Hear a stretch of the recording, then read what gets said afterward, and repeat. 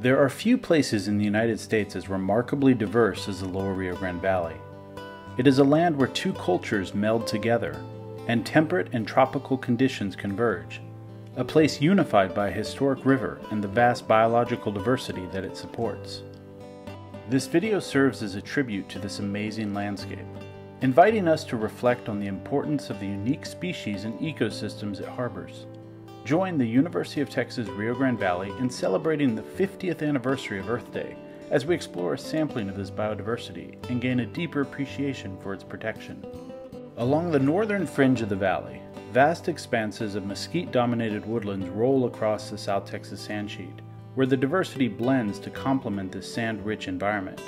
Herds of white-tailed deer and javelina are common here, and species such as dwarf sundew and barred tiger salamander can be found along with grubildani and ferruginous pygmy owl.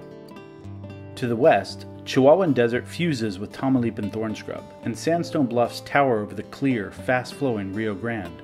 The plant and animal communities here are represented by a spectacular array of desert and arid adapted species, several of which, such as the star cactus, Diablo scorpion, Mexican burrowing toad, and the Mexican white-lipped frog, are found nowhere else in the United States.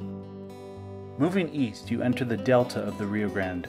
Here, the river slows and the rich alluvial soils support more luxuriant vegetation communities, such as the ebony evergreen thorn forest, where green jays, clay-colored thrush, and kiskadees flit through the trees, while pauraque slumber in the leaf litter. Snaking across the delta, ancient river channels, called resacas, long ago cut from the Rio Grande, deliver life-giving water to this otherwise arid landscape and provide critical habitat for resident aquatic species like black-bellied whistling ducks, green kingfishers, and least grebes, as well as important wintering grounds for migratory waterfowl such as green-winged teal. The Sabal Palm Forest is a spectacular example of a tropical ecosystem reaching its northernmost extreme in the United States, where specialty species like Mexican tree frog and Central American speckled racer share these forests with the Rhacus chachalaca and chattery buff-bellied hummingbird. Further east, nearing the coast, the delta soils, now influenced by the Gulf of Mexico, are dominated by Tamaulipan thorn scrub and vast expanses of coastal prairie. This xeric and halophytic ecosystem, while seemingly inhospitable, is surprisingly home and habitat to an amazing assortment of wildlife, including rare and endangered species such as the Central American ocelot, Texas tortoise, Texas horned lizard, and black spotted newt. As the land gives way to water, hypersaline lagoons, such as the Laguna Madre and Bahia Grande, form a vital ecosystem and estuary environment to countless nesting and foraging shorebirds, such as the snowy plover tending her eggs and this American oystercatcher feeding its chick. Dipping beneath the surface of these waters introduces us to a whole new realm of diversity as miles of seagrass and oyster beds stretch out across these mangrove lined expanses, where banded tulip snails silently stalk Atlantic bay scallops, butterfly rays glide effortlessly through the shallows, and Atlantic bottlenose dolphins chase schools of striped mullet through these protected waters.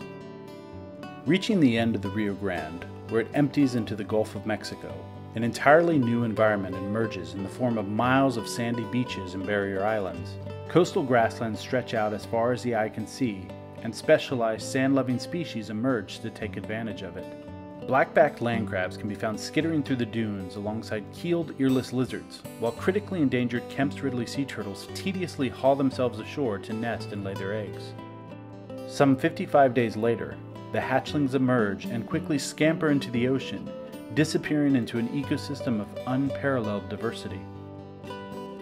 Diving into the depths of the Gulf of Mexico with a pod of Atlantic spotted dolphins, the bathymetry of the Texas coast can range from endless expanses of mud and sand to extraordinary natural rocky outcroppings covered and encrusted in colorful sponges, corals, and other invertebrates. Artificial reefs and wrecks have been created to complement these marine ecosystems, where spotted cyphomas snails and brilliant bristleworms share these waters with a huge diversity of fish, such as cocoa damsels, tessellated blenny, red snapper, spadefish, and barracuda. While this has been a mere glimpse of the incredible diversity the lower Rio Grande Valley has to offer, we hope you will take with you a deeper appreciation for the region and look to it with newfound wonder and awe. Earth Day is about celebrating the marvelous natural diversity of our planet, and few places showcase this as spectacularly as the Valley.